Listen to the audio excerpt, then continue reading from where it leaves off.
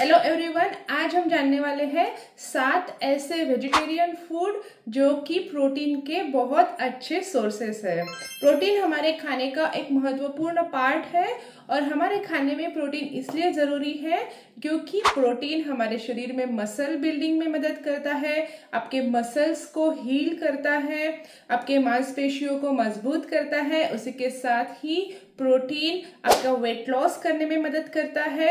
ठीक मात्रा में प्रोटीन खाने से आपका मेटाबॉलिज्म ठीक होता है, आपका वज़न कम होने में मदद होती है। उसके साथ ही बॉडी बिल्डिंग में लोग प्रोटीन का यूज़ करते हैं। बॉडी बिल्डिंग के लिए उनको प्रोटीन की आवश्यकता होती है।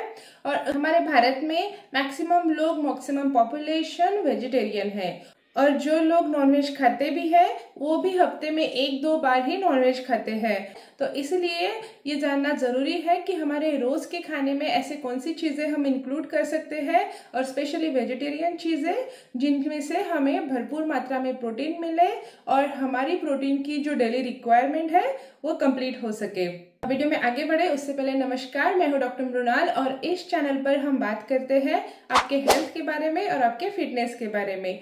तो अगर आप भी हमेशा हेल्दी, स्वस्थ रहना चाहते हैं तो चैनल को सब्सक्राइब ज़रूर करिए।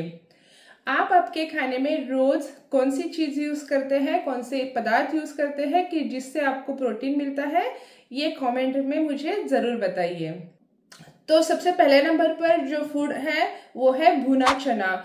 100 ग्राम भुना चने में 22 ग्राम ऑफ़ प्रोटीन होता है, जो कि अगर हम देखा जाए क्वांटिटी के हिसाब से तो बहुत ही बढ़िया मात्रा में उसमें प्रोटीन है। और भुने चने में जो प्रोटीन है, उसकी क्वालिटी वेज प्रोटीन में सबसे अच्छी पाई गई है।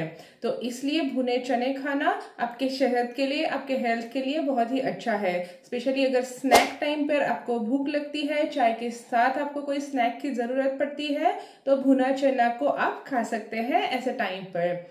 अगर आप भुने हुए चने खाते हैं तो ट्राई करिए कि आप उसको उनके कवर के साथ ही खाएँ, ताकि प्रोटीन के साथ साथ अच्छी मात्रा में फाइबर भी आपको मिलेगा। भुने हुए चने की पाउडर बनाते हैं, उसको सत्तू कहते हैं। भारत में सत्तू एक बहुत ही पॉपुलर ड्रिंक है और बहुत सारे प्रदेशों में इसको पिया जाता है। तो सत्तू भी एक बहुत ही अच्छा सोर्स है प्रोटीन का। अगर आप सत्तू पीना पसंद करते हैं तो उसको भी आप अपने एवरीडे खाने में इस्तेमाल कर सकते हैं। उसके साथ ही सत्तू का जो पाउडर है, उसको आप, उसके आप पराठे बना सकते हैं, उसको आप चीले में यूज़ कर सकते हैं। तो इस तरह उसको अलग अलग पदार्थों में यूज़ करके आप अपना प्रोटीन इंटेक बढ़ा सकते हैं। उसके बाद दूसरे नंबर पर जो पदार्थ है वो है दूध। एक गिलास दूध में 250 फिफ्टी जो दूध होता है उसमें 10 ग्राम ऑफ़ प्रोटीन होता है। तो इसलिए अगर आप दूध पसंद करते हैं तो प्रोटीन के लिए आप दूध भी पी सकते हैं। दूध में प्रोटीन के साथ साथ विटामिन भी होते हैं बहुत विटामिन डी होता है विटामिन सी होता है उसके साथ ही उसमें ओमेगा थ्री कैल्शियम भी होता है। तो, तो दूध पीने से आपके मसल्स तो मज़बूत होंगे ही आपके मांसपेशियाँ मज़बूत होंगी लेकिन उसके साथ ही आपके बोन्स भी स्ट्रांग होंगे। आपके हार्ट भी अच्छा होगा तो दूध पीना भी आपके शरीर के लिए अच्छा है। स्पेशली अगर प्रोटीन की साइड से हम देखें तो दूध में से आपको अच्छी मात्रा में प्रोटीन मिल जाता है। उसके साथ ही दूध से बना हुआ दही, उसमें भी अच्छी मात्रा में प्रोटीन होता है। और थर्ड नंबर पर जो आता है, वो है पनीर। पनीर भी दूध से ही बनता है तो दूध की सारी खूबियाँ पनीर में भी होती है और कॉन्सेंट्रेटेड मात्रा में होती है। हाफ़ कप ऑफ़ पनीर अगर आप लेते हैं तो उसमें 12 ग्राम प्रोटीन होता है। तो पनीर भी सबको बहुत पसंद आता है, पनीर की सब्ज़ियाँ सबको पसंद होती है। तो अगर आपको पनीर पसंद है तो हर रोज आप उसकी सब्ज़ियाँ बनाकर खा सकते हैं। पनीर के पराठे सबको बहुत अच्छे लगते हैं। तो ऐसे अलग अलग प्रकार से आप पनीर का यूज़ कर सकते हैं और अपना प्रोटीन इंटेक बढ़ा सकते हैं। नेक्स्ट जो प्रोटीन का सोर्स है, वो है सोयाबीन। सोयाबीन एक बहुत ही बढ़िया सोर्स है प्रोटीन का। और स्पेशली सोया चंक भी अगर आप खाते हैं तो वो भी बहुत ही अच्छा सोर्स है प्रोटीन का। 100 ग्राम सोया चंक्स में 50 ग्राम प्रोटीन रहता है। मतलब भरपूर मात्रा में इसमें प्रोटीन है और ये प्रोटीन भी बहुत ही अच्छा प्रोटीन है। तो अगर आप 100 ग्राम प्रोटीन के चंक्स की या सोया न्यूट्रेला जिसको हम कहते हैं, उसकी अगर आप सब्ज़ी खाते हैं या फिर आप क्या कर सकते हैं, उसको पाउडर बना सकते हैं। पाउडर बनाकर उसको पाउडर पराठे में यूज़ कर सकते हैं। या फिर आप सोयाबीन के जो दाने होते हैं, उनको भी भिगोकर अपने सब्जियों में इस्तेमाल कर सकते हैं। सोयाबीन में भरपूर मात्रा में प्रोटीन है। बहुत सारे लोगों को सोयाबीन से एक डाउट रहता है कि क्या सोयाबीन खाने से पुरुषों में एस्ट्रोजन बढ़ेगा? क्या उनको मैन बूब्स आएँगे? तो ऐसा कुछ नहीं होता है, क्योंकि सोयाबीन में जो एस्ट्रोजन होता है, वो फाइटो एस्ट्रोजन होता है, वो बहुत ही माइल्ड एस्ट्रोजन है। तो जिसका अगर आपके शरीर पर इफ़ेक्ट होना है तो उसके लिए आपको बहुत ज़्यादा एक किलो, डेढ़ किलो इतना सोयाबीन एक दिन में खाना पड़ेगा, तभी इसका आपके शरीर पर इफ़ेक्ट हो सकता है। तो आप निश्चिंत होकर सोयाबीन अपने खाने में इस्तेमाल कर सकते हैं। नेक्स्ट जो वेजिटेरियन प्रोटीन का सोर्स है, वो है दालें। दालें, सभी प्रकार की दालें, तूर दाल, मूंग दाल, उड़द दाल, मसूर दाल, इन सभी दालों में प्रोटीन होता है। लेकिन जब भी आप दाल बनाते हैं, खाने के लिए दाल बनाते हैं तो ध्यान में रखिए कि दाल में ज़्यादा पानी मत डालिए। दाल को थोड़ा कंसंट्रेटेड मात्रा में खाए ताकि उसके जो प्रोटीन है, उसका आपको लाभ मिल सके। तो अगर आप हाफ़ कप दाल खाते हैं तो उसमें आठ ग्राम प्रोटीन आपको मिल सकता है।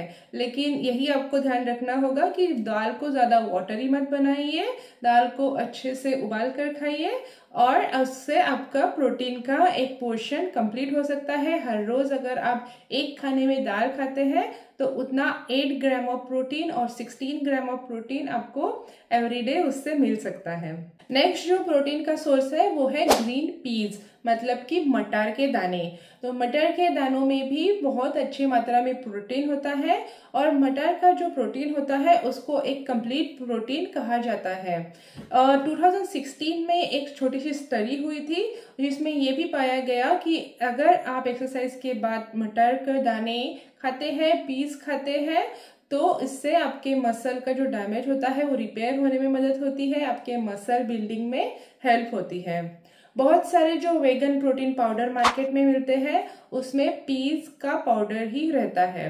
तो इसलिए पीज को भी अपने खाने में आप इंक्लूड करिए, अपने कोई भी सब्जियों में आप डाल सकते हैं, सुबह के ब्रेकफास्ट में आप पीज को डाल सकते हैं। पीज बहुत वर्साटाइल है, जो कि किसी भी सब्ज़ी में आप इंक्लूड कर सकते हैं और अपने प्रोटीन का, दिन का कोटा आप कंप्लीट कर सकते हैं। और नेक्स्ट सात नंबर पर जो प्रोटीन का सोर्स है, जो बहुत ही अच्छा प्रोटीन का सोर्स है, वो है पंकिन सीड्स पंकिन सीड्स बहुत ही अच्छा सोर्स है प्रोटीन का, उसके साथ ही ये बहुत ही अच्छा सोर्स है बहुत सारे न्यूट्रिएंट्स का. पंकिन सीड एक सुपर फ़ूड माना गया है, क्योंकि इसमें प्रोटीन के साथ साथ आयरन है जिंक है कॉपर है सेलेनियम मैग्नीशियम ऐसे बहुत सारे मिनरल्स एंड विटामिन है। तो पम्पकिन सीड भी आपके हेल्थ के लिए बहुत ही अच्छे हैं। तो पम्पकिन सीड को भी आपके खाने में, आपके ब्रेकफास्ट में एक चम्मच या दो चम्मच पम्पकिन सीड आप ज़रूर ले। 20 ग्राम पम्पकिन सीड में 8 ग्राम प्रोटीन होता है। तो दो तीन चम्मच पम्पकिन सीड आपके ब्रेकफास्ट में या आपके खाने में, आपके स्मूदी में आपके पराठे में, कहीं पर भी आप इंक्लूड कर सकते हैं। प्रोटीन अपने खाने में इंक्लूड करना एक बहुत ही अच्छा उपाय है, बहुत ही अच्छा वे है अपने वेट लॉस करने का। अगर आप जानना चाहते हैं कि और कौन से कौन से उपाय है जिससे कि आपके वेट लॉस में, आपके मोटापा घटाने में मदद होगी तो ये वीडियो आप ज़रूर देखिए। मैं आपको मिलती हूँ उसी वीडियो में।